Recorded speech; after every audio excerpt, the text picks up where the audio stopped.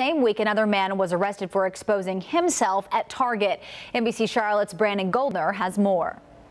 This is the Walmart where Gastonia police say a man exposed himself to a woman. They don't yet have a suspect. Police say it happened just before 11 Thursday morning, just two days after officers responded to a similar incident on the other side of the city at this popular Target. Police say this man, Stephen White, a registered sex offender, exposed himself right outside the store, and just two weeks earlier, he was arrested for the same exact crime at the same Target. Target. Shoppers like Rebecca Denton are now on high alert. It's sad these days that you have to worry about things like that. Anyone with information on this case should call Gastonia Police. In Gastonia, Brandon Goldner, NBC Charlotte.